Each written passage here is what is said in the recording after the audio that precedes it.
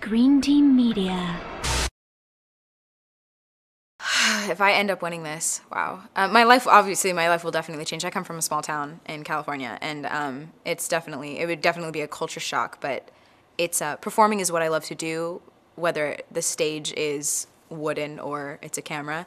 And so, um, I, I don't know. It, it would it would definitely change. It would be a ride. It would be it would be an intense to get kind of the the media publicity, if you know what I mean, like getting getting people suddenly noticing me, not a light, a spotlight on me more more than it normally would be, but it's it would be wonderful because it would be my chance to show who I am to the world, not just not just for fame or for the sake of performing or making me feel good, but for the fact that I have a message to give to people and you know and, and to children who watch the children, to, to teenagers who watch the show to say it's okay to be exactly how I am, you know, and it's okay to be exactly who you are.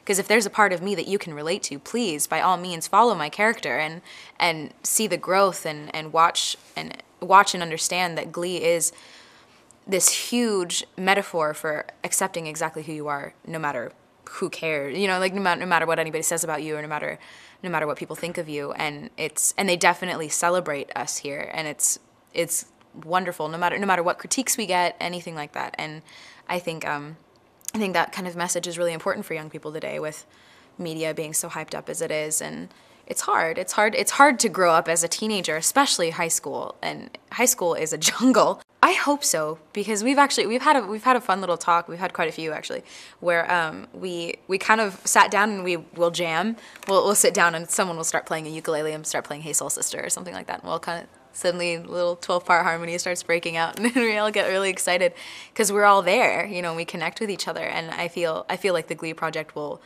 will show that how you can stick 12 completely different people in one room and they com- they can mesh just wonderfully well. And we we talked about how we are kind of glee. We're just a different we're, we're glee 2.0 i think is what we said. We're, we're glee 2.0 and um, i mean you'll see it. You'll see you'll see in our performances. We we give it and we because we love to do it